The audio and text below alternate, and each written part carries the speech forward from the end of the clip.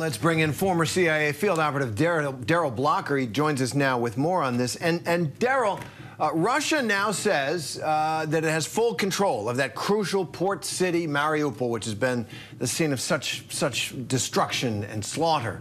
It was a key objective for the Kremlin. Do they really have it, may be the question. Uh, but what is the significance of Russia getting that? Uh, the Ukrainian uh, government, by the way, says that their intelligence thinks that Russia might want to have a victory parade down those desolate, destroyed streets. But what's the significance if they have taken control of it? Well, taking control of the city and taking control of the steel plant are two completely different things. I would I think it rings hollow. Um, I think as long as there's fighting going on, no one can say that they have control one way or the other. And the idea of a, of a parade rolling down the streets of a contested area just sounds like lunacy to me. Hmm. And so Russia also uh, launching new missile strikes targeting this railway uh, station and power plant near Lviv, near the, the Polish border. What was the purpose of these attacks, Darrell? Well, I believe Mark has covered it really well. Um, they've identified key nodes of resupply for the Ukrainian troops and the Ukrainian uh, resistance uh, folks that have come in, which always include telecommunications, always includes airfields, always includes transportation nodes. So it's not surprising. What's surprising is how close to the four EU slash NATO members that uh, share a border with Ukraine that's been going on. Well, let me follow up on that if I could. So Russia is, is hitting resupply and, and critical supply areas in Ukraine. Well, the United States and NATO allies pouring uh, weapons and supplies into Ukraine across the Polish border and the Slovakian border as well. I'm, I'm kind of wondering, are you surprised that Russia hasn't hit hasn't hit any of that, uh, either on its way into Ukraine or once it gets there? Well, I am surprised that an errant missile hasn't gone across one of the one of the land borders.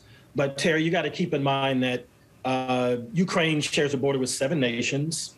Uh, the land border is roughly the distance uh, for Ukraine, Russia from the capital of Maine down to Miami. So just as a visual, and the six of the of the remaining nations that share a border, five of them voted against Russia, the invasion, and Belarus is the only one on the on the um, on the Russian side.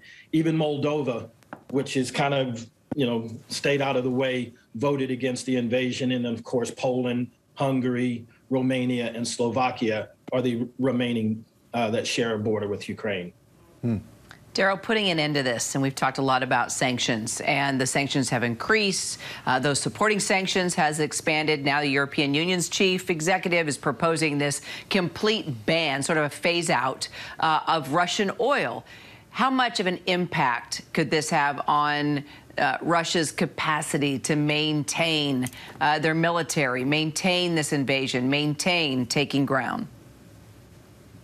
I think the, the EU chief executive and the vote that the that they came up with today is a clear sign that the that the alliance is not starting to you know unravel.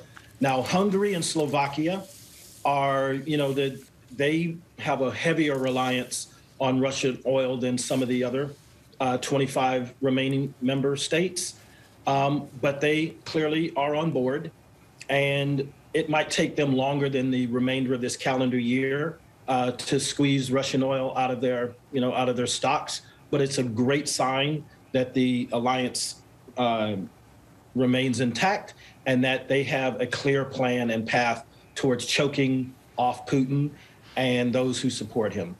Hmm.